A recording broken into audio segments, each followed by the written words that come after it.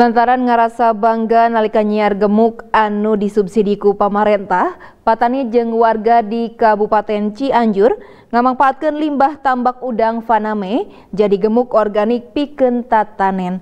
Limbah anu asalna tina tempat mijahkeun hurang ditamperkeun dina panampungan anu satuluyna dicarokotan ku patani jeung warga secara gratis.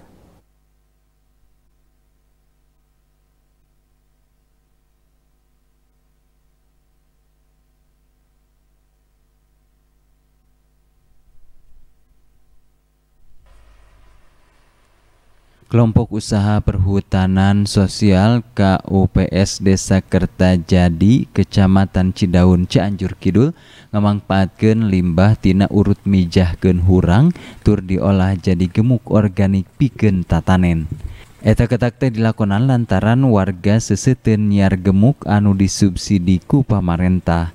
Diajar tina salah sahiji website ngenaan padika ngolah limbah tambak hurang jadi gemuk organik pihak anu ngokolaken tambak nyagaken limbah tambak dina bak panampungan secara gratis cawis gemuk organik kertatanen ketak ngolah eta limbah tambak hurang teh geus lumangsung setahun setengah opat bulan sekali bisa ngasilkan gemuk organik opat tepika genep ton.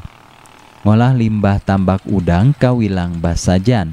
Limbah cair tina tambak ditampung jero tilu minggu satu tas kokotor namper tur jadi letak caina dipicen ku cara disedot.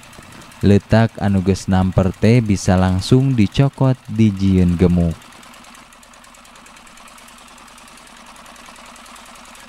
Cek salah seorang patani kiwari di Cianjur Kidul pihakna ngarasa seset nyiar gemuk subsidi ti pamarentah lantaran kegejed kureana aturan anu ngabang baluhan warga.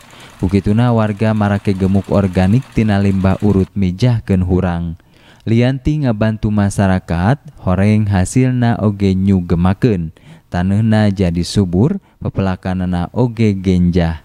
Eta anu jadi kapunjulan gemuk tina limbah tambak udang teh bisa ngalewihan gemuk subsidi ti pamarentah.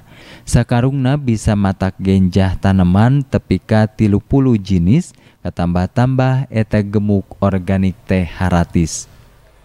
Karena ini pupuk e, kesusahan. Kalau saya misalkan mau beli pupuk itu kemungkinan harus ada kartu. Dan saya kan nggak kebagian kartu. Akhirnya saya manfaatin limbah dari tambak udang. Alhamdulillah sampai sekarang bisa istilahnya pertumbuhan itu cepat bahkan lebih dari pupuk dari pemerintah Pak.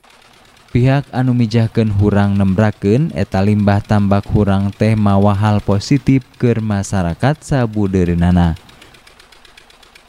Untuk supaya tidak berebutan kita atur. Kita berikan secara cuma-cuma Pak. Untuk yang beli kita nggak layani. Kasihan masyarakat. Kita bagikan saja langsung. Sudah ber, berjalan berapa lama ini uh, pembuatan pupuk, uh, atau pemanfaatan pupuk tambak udang ini? Uh, udah tiga siklus Pak, berarti satu tahun setengah.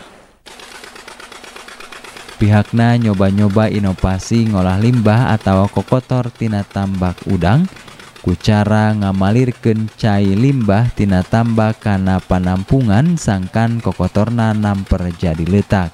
Satu tas jadi letak pihak ngatur prak-prakan ngabagina sangkan sakumna warga anu merlukeun teu parebut. Heri Setiawan, Bandung TV.